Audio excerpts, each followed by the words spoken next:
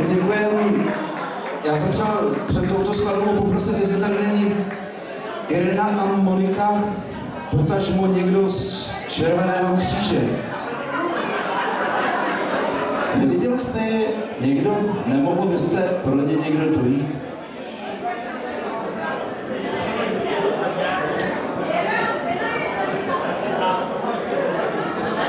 Dobře, tak jim to vyřízte.